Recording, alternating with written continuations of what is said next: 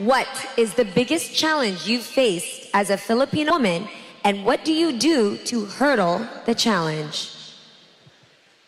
I think one of the biggest challenges that Filipinos face today are being limited by still being shadowed by, unfortunately, men or in society. But I think my platform and me standing here in front of you today, I can encourage women that you too can stand up. You can be strong. You can be powerful. You can own your own destiny, like I plan to tonight. Go.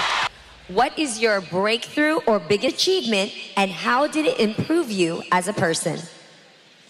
Being here in this prestigious pageant or the Miss Universe Philippines 2024 is my greatest achievement. The Tara before is someone who doesn't really limit, I who really limit herself when it comes to her achievements. Where I step here, here, here in this Miss Universe Philippines and I see the transformation, the improvement, and how I was able to become in, an inspirational woman that I am now. And that is someone, something that I will be proud of after this journey. Thank you. Women learn from each other. What is the biggest lesson that you've learned from another woman, and how did it improve your life? My grandmother put me through school. And the biggest lesson I have learned from her is to always be kind. She is someone who has a big heart and took care of me since I was a kid. And I do think that my grandmother is someone that I can look up to. She is someone that is an embodiment of what a great woman is. Thank you. Women have inspired you all throughout your life. Now tell us about how you have inspired another woman. You know, I've been told many times that I am too short to join a beauty pageant.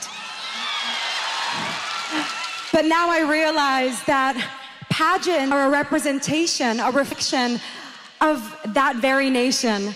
And tonight, I am not only representing myself, but every Filipino woman sees themselves in me. I hope to inspire every Filipina that just like the universe, we too are limitless.